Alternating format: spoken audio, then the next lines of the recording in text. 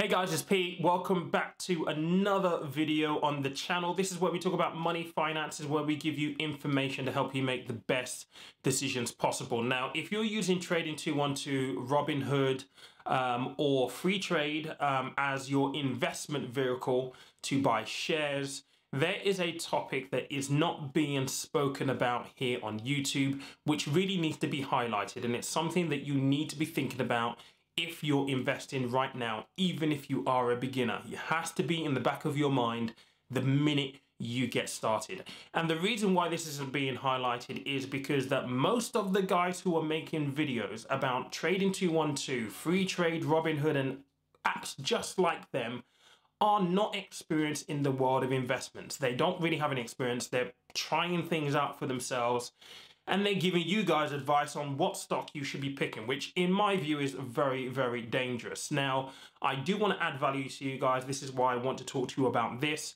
And if you stay to the end of this video, I'm going to give you two tips on how you go about diversifying your share portfolio. But before we get started, if you've not listened to my podcast, I strongly encourage you to go check it out. It's where I talk about all things money and finances. It's available on Apple Podcasts, Google Podcast, and it's available on Spotify.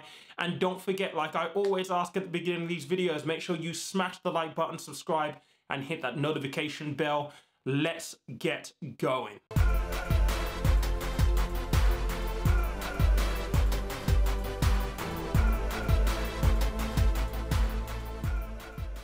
So let me just start off with giving everybody a bit of a background in terms of what I mean about diversifying your share portfolio. Because the term diversification can sound like rocket science. It can sound like, you know, really complicated stuff. And in reality, it's not. It's actually very, very simple. Diversification in simple terms means not putting all of your eggs in one basket. Now, if you're a beginner to investing, you may understand the difference between investing in a fund and you may understand how that is different to what you might be doing right now if you're using Trading 212, Freetrade, or someone like Robinhood. They're two different worlds. They're to achieve a very, very similar goal, but there are two different routes in going about the same thing one has an advantage over the other, and also they have cons, they have disadvantages as well. So let's just be clear about that. But the reason why I want to talk about diversification, i.e., not putting all your eggs in one basket, is because when you invest money, there is a natural risk that you are putting your capital at risk. And you will see this on all of the websites, all of the providers will give you this generic sentence which says when you invest, your capital is at risk you may get back less than you originally invested. And because you are using someone like Trading 212 or Freetrade or Robinhood, unfortunately it means that the onus is with you to make sure that you understand the risk that you're taking and it's also down to you to diversify i.e. not put all of your eggs in one basket in order to minimize your risk now let's talk a little bit more about diversification the whole point of diversification is so that you can spread your risk across a number of asset classes. Now, I haven't spoken about asset classes in any of my previous videos to this. It may have been in the investing for beginners video, but I didn't really go into much depth. Now, an asset class is effectively something that you can invest in. It's an investment basket. Traditionally, there are four very, very popular investment baskets that are known. So there's equities, which is shares, which is what you'll be buying on Trading 212. A bond is effectively where a company or a government wants to raise some money. And what they do is they borrow money from individuals like you and I. And in return for a thousand pounds, they will say, I'm going to give you a rate of return of 3% every single year. And I'm going to give you your capital back at the end of the term. So bonds are pretty safe. They're more secure than equities. Then you have property. And property in the investment world is typically commercial property. So there'll be big office blocks, big shopping malls, things like that. And then the last asset class that is popularly and widely used is cash. Now, cash is a it's a beast onto its own. Not always do you get a good return in cash, but it is a good diversifier. It is there to provide a bit, little bit of liquidity within the investment. Now, if you do invest or you are investing, you know what you're talking about, or you have a little bit of a basic understanding, when you invest in the fund, you automatically get access to all four of those those asset classes or investment baskets. It's all built in for you. You get immediate diversification. That's one of the big advantages of buying funds than investing in shares directly. And in addition to having that diversification already built into your investment strategy, you also have a professional, a professional investment management team looking after your money and making sure that you get a positive return. It means that you can just sit back and allow the professionals to do that what they do and you should hopefully see a positive return year on year although that doesn't always happen i've known years where you've had good returns for two three years and then the fourth year is a negative year but that is that is to be expected when you invest in the market. So you get clear benefits of investing within a fund. That's why most people invest in a fund because all of that work is done for them. They pay a small fee for a professional team to manage it for them. Now, if you're buying shares on Trading 212, Freetrade, or Robinhood, the onus is on you to manage your risk. And when you're buying shares with Trading 212, for example, you do not have access to the other investment basket. So you are literally only using your equities or your share basket, one basket, which means that you are concentrating your risk in one area.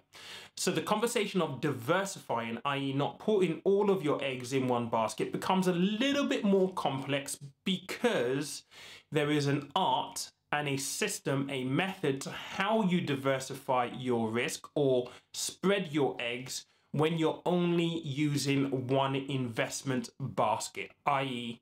shares. So how do you do that? Now, I had a conversation with one of my followers on IG, and if you guys have not found me or connected with me there, I would strongly recommend that you do.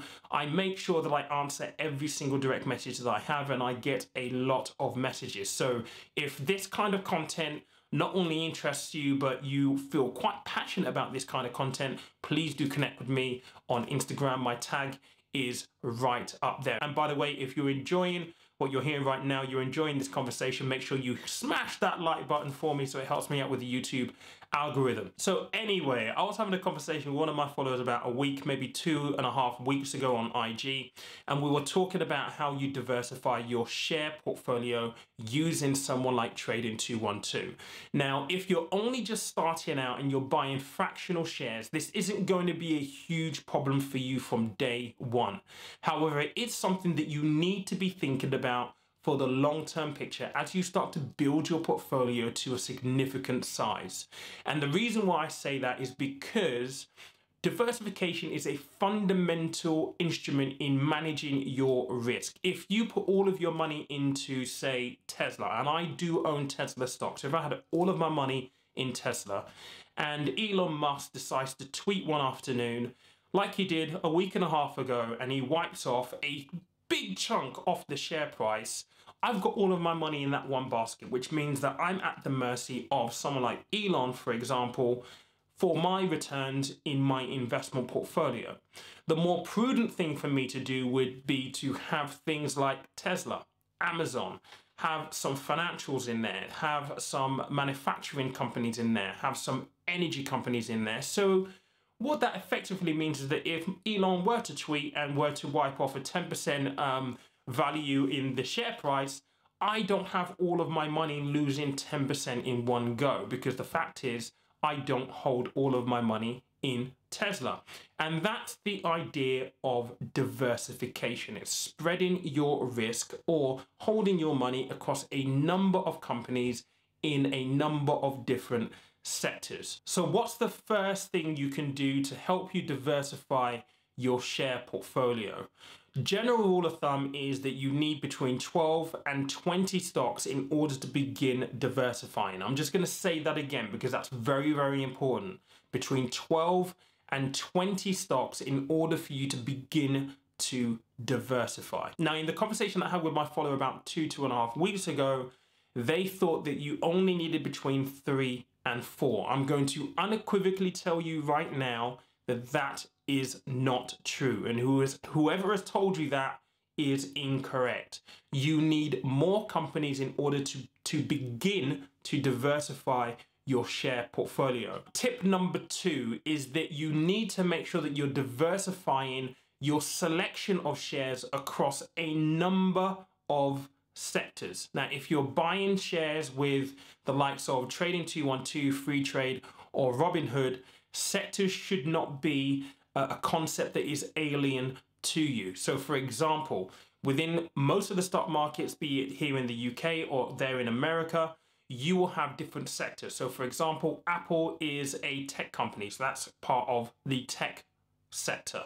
Then you have manufacturing. Then you have financials, which will house some of the banks. So here in the UK, people like HSBC, Barclays. Then you have energy, which will include people like um, BP. Then you have pharmaceuticals, which will include people like AstraZeneca so on and so forth.